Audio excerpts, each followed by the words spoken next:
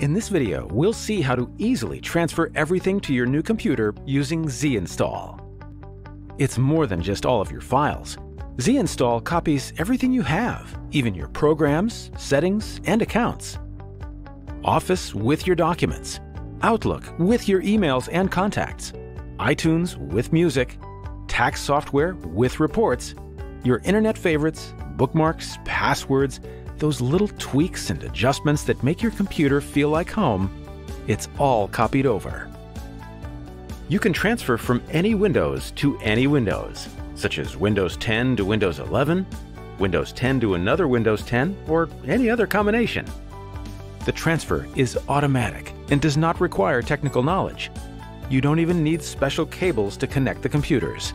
Just get both online and Zinstall will take care of the rest. Here is how it works. First, download and run Zinstall on your old computer. Then, do the same on the new computer. Zinstall easily recognizes both computers and is ready to go. All you have to do is press Go.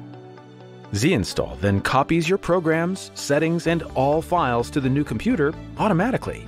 Once the transfer is done, your new computer will have all of your files, your documents, pictures, favorites, accounts, passwords, personal settings, and programs all set up just like on the old PC.